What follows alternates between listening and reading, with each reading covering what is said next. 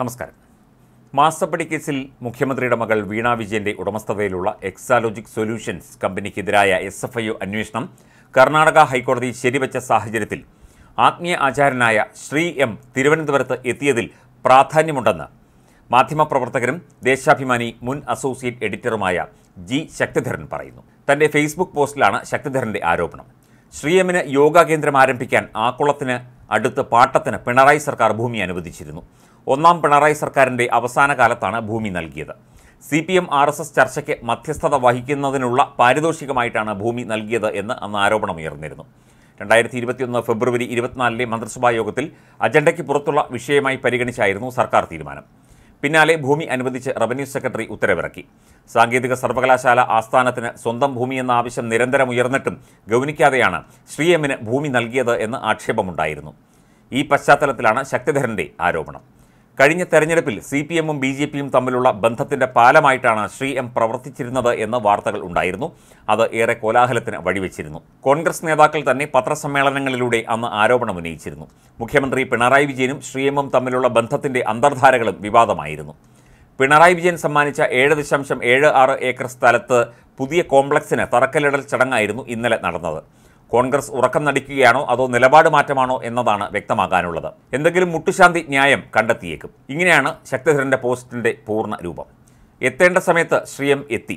തിരുവനന്തപുരത്ത് ആക്കുളത്തിനടുത്ത് കോടികൾ വില വരുന്ന ഏഴ് ദശാംശം ഏഴ് ആറ് ഏക്കർ ഭൂമി എൽ ഡി എഫ് സർക്കാരിൽ നിന്ന് കൈക്കലാക്കിയ വിവാദ ആത്മീയാചാര്യൻ ശ്രീ എം തെരഞ്ഞെടുപ്പ് കാഹളം മുഴങ്ങിയപ്പോൾ തന്നെ തിരുവനന്തപുരത്ത് എത്തി.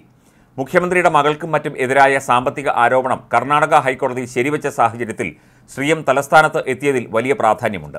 മുഖ്യമന്ത്രിയുടെ ഏറ്റവും അടുപ്പക്കാരനാണ് ശ്രീയം.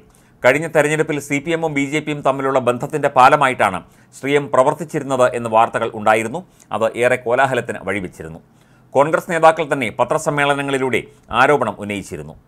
മുഖ്യമന്ത്രി പിണറായി വിജയനും ശ്രീഎമ്മും തമ്മിലുള്ള ബന്ധത്തിന്റെ അന്തർധാരകളും വിവാദമുയർത്തിയിരുന്നു. പിണറായി വിജയൻ സമ്മാനിച്ച ഏഴ് ദശാംശം ഏഴ് ആറ് ഏക്കർ സ്ഥലത്ത് പുതിയ കോംപ്ലക്സിന് തറക്കല്ലിടൽ ചടങ്ങായിരുന്നു ഇന്നലെ നടന്നത്. കോൺഗ്രസ് ഉറക്കം നടിക്കുകയാണോ അതോ നിലപാട് മാറ്റമാണോ എന്നതാണ് വ്യക്തമാകാനുള്ളത് എന്തെങ്കിലും മുട്ടുശാന്തി ന്യായം കണ്ടെത്തിയേക്കും. ശ്രീ എമ്മിന്റെ സത്സംഗ് ഫൗണ്ടേഷന് യോഗ റിസർച്ച് സെന്റർ സ്ഥാപിക്കാൻ അനുവദിച്ച നാല് ഏക്കർ ഭൂമി പ്രതിവർഷം മുപ്പത്തിനാല് ദശാംശം ഒൻപത് ആറ് ലക്ഷം രൂപയ്ക്കാണ് പാട്ടത്തിന് നൽകിയത്. തിരുവനന്തപുരം താലൂക്കിലെ ചെറുവയ്ക്കൽ വില്ലേജിൽ ഹൗസിംഗ് ബോർഡിന്റെ സ്ഥലമാണ് പാട്ടത്തിന് നൽകിയത്. പതിനഞ്ച് ഏക്കറിനാണ് ഫൗണ്ടേഷൻ അപേക്ഷ നൽകിയത്. ഹൗസിംഗ് ബോർഡിന്റെ കൈവശമുള്ള ഏഴ് ദശാംശം ഏഴ് ആറ് ഏക്കറിൽ രണ്ട് acre U A consulate Videsh Bhavan എന്നിവയ്ക്കായി ഫെബ്രുവരി അഞ്ചിന് നൽകിയിരുന്നു. ഒരു ആറിന് അതായത് രണ്ട് ദശാംശം നാല് ഏഴ് സെന്റ് പത്ത് ദശാംശം എട്ട് ലക്ഷം രൂപ നിരക്കിൽ പതിനേഴ് ദശാംശം നാല് എട്ട് കോടി രൂപയാണ് സ്ഥലത്തിന് വില കണക്കാക്കിയത്. ഇതിന്റെ രണ്ട് ശതമാനമാണ് പ്രതിവർഷം പാട്ടത്തുകയായി നൽകേണ്ടത്. റവന്യൂ വകുപ്പിന്റെ നോട്ടില്ലാതെ ഔട്ട് ഓഫ് അജണ്ടയായിട്ടാണ് മന്ത്രിസഭാ യോഗം തീരുമാനമെടുത്തത്. സി പി എമ്മിനും ആർ എസ് എസിനും ഇടയിലെ കണ്ണി എന്ന നിലയ്ക്കാണ് യോഗ ഫൗണ്ടേഷന് ഭൂമി നൽകിയത് എന്ന ആരോപണം വേദനയുണ്ടാക്കുന്നതാണെന്ന് ശ്രീ എം നേരത്തെ പ്രതികരിച്ചിരുന്നു. വിവാദത്തെക്കുറിച്ച് അറിഞ്ഞപ്പോൾ ഈ ഭൂമി വേണ്ടെന്ന് വെച്ചാലോ എന്ന് വരെ തോന്നിപ്പോയി. പിന്നെ ആലോചിച്ചപ്പോൾ അർത്ഥമില്ലെന്ന് മനസ്സിലായി. ഞങ്ങൾ അപേക്ഷിച്ചിട്ട് കിട്ടിയതാണ്. ജനിച്ചു വളർന്നത് തിരുവനന്തപുരത്താണ്. ഞങ്ങൾക്ക് ആന്ധ്രയിലെ മദനപ്പള്ളിയിലും ഡൽഹിയിലും യോഗ കേന്ദ്രങ്ങളുണ്ട്. എന്നാൽ കേരളത്തിൽ ഇല്ല. ജനിച്ചു വളർന്ന നാട്ടിൽ ഒരു യോഗാ കേന്ദ്രം വേണമെന്ന ചിന്തയാണ് ഈ അപേക്ഷയിലേക്ക് നയിച്ചത്.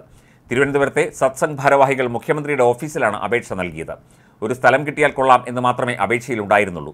ഭൂമി അനുവദിച്ചതിന് പിന്നാലെ നന്ദി പറഞ്ഞ് മുഖ്യമന്ത്രിയുടെ പ്രൈവറ്റ് സെക്രട്ടറിക്ക് ഒരു സന്ദേശം അയച്ചു.